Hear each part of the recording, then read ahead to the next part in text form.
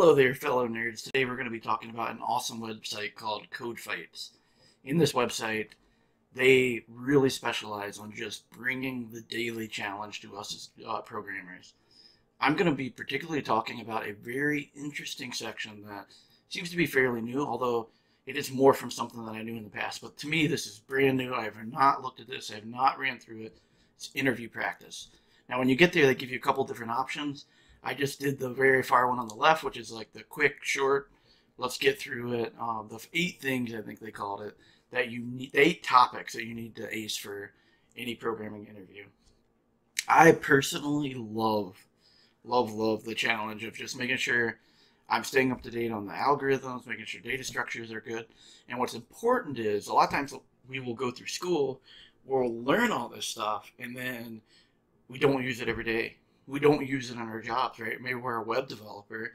So web developers, why the heck would we really use linked list? It just doesn't happen. We don't typically use those that much.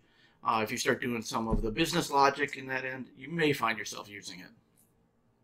So ultimately, let's jump right into it.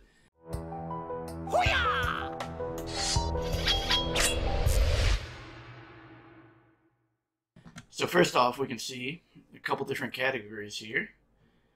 Uh, it does actually look like some of my old stuff does count because here it's got 1 out of 5 and 2 out of 7. So let's just start with arrays. Arrays seem rather simple. And, oh, this is first duplicate asked by Google. So sometimes these can take a little bit of time, sometimes they don't.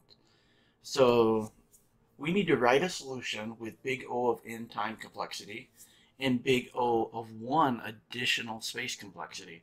So what that means is this needs to run in linear time. We can literally only iterate over the array one time. Since this is what you would be asked to do in a real interview.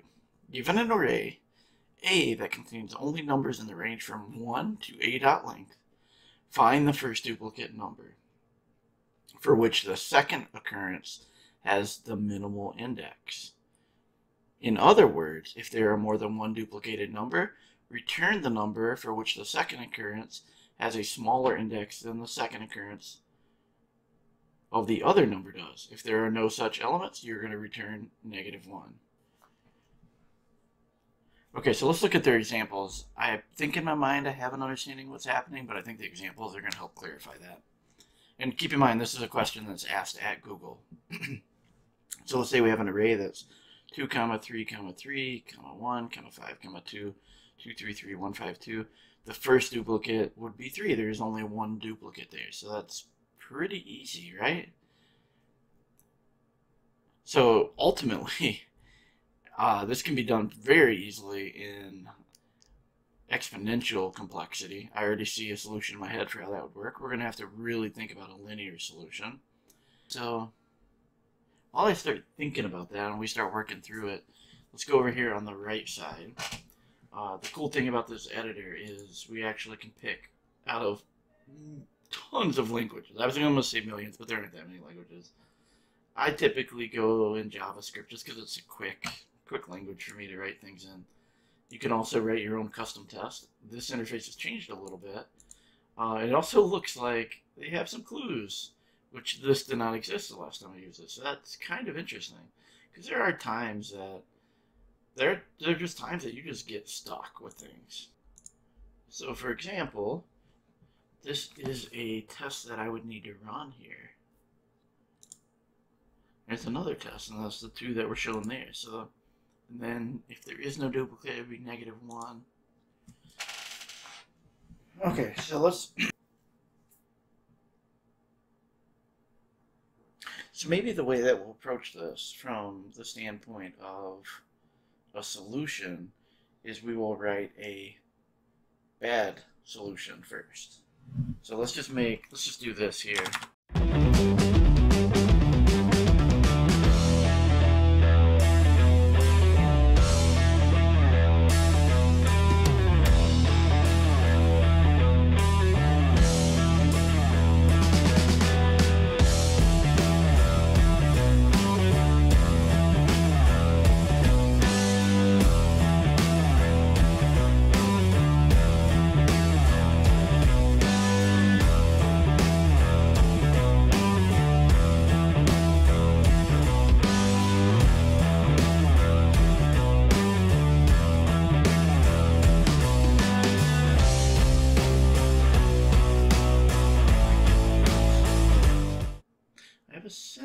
Error. Oh, oh, jeez. Alright, run that test again. Let's see how many errors I caused. Okay, so we know the bad solution now. Now let's look at how we can optimize this out.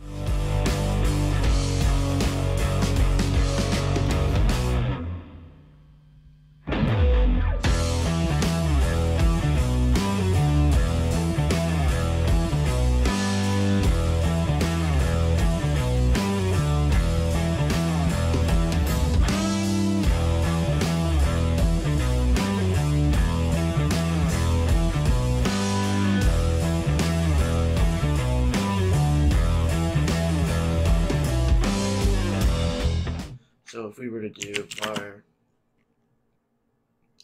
um, indexes is equal to array that.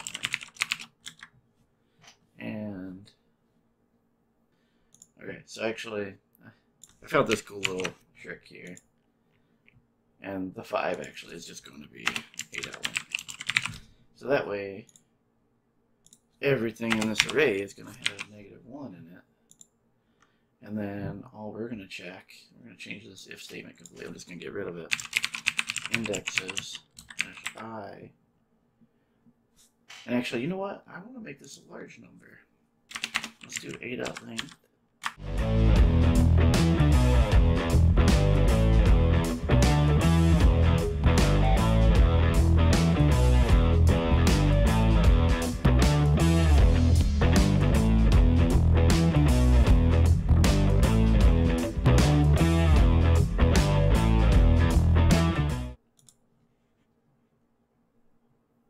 Yep.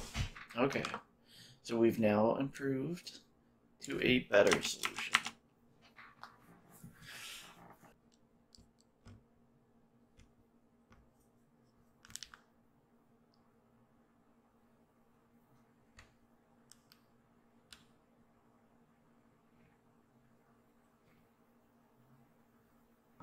Clean up the formatting, get rid of that. They used to care a lot about the size or the, the amount of characters in your code. I don't know if they do that as much anymore. So let's just run our test, make sure we didn't break anything. Shouldn't have. We're going to try submitting and see what happens. If this is not good enough, we are probably going to fail. We, we passed. And I solved it without any hints. Got a thousand gold 20% done. But I want to go back to that one really badly.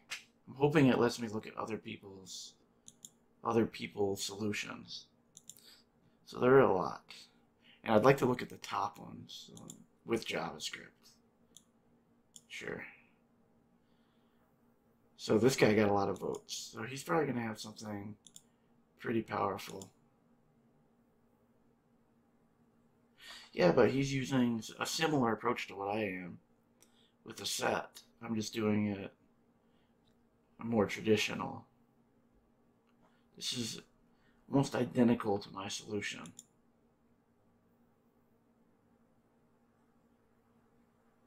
Now this is actually very interesting because this person actually meets the parameters, if I'm thinking about this right, this person actually meets the parameters of big O to the 1. So if a number is found first, time make a absolute value of number minus 1 negative. That is pretty fascinating. That's pretty brilliant. I actually really like this solution. Identical, like just absolutely identical to what I've got. Same basic things. So like if we were to highlight off of that, you can see my code's identical. So although I don't think we did as good as we possibly could have, we nailed it. We got our thousand gold. We passed all the hidden tests, and and that uh, that we did it. So I I hope you guys enjoyed this, And please check out CodeFights. I am in no way affiliated with them in any way whatsoever, but I love what they're doing. I've actually had some conversations with some of their members of their company. They are absolutely phenomenal people, and they're doing great stuff for us in our community. I don't ultimately think we got a win out of this one, even though we got our credit. I don't think we met all the criteria, but you know what? We accomplished it, and it looks like we're right in line with some of the, the higher ranking solutions. We did it without using any hints, which actually I do want to try hints just to see what that's like. So, anyway, till next time, peace out, nerds.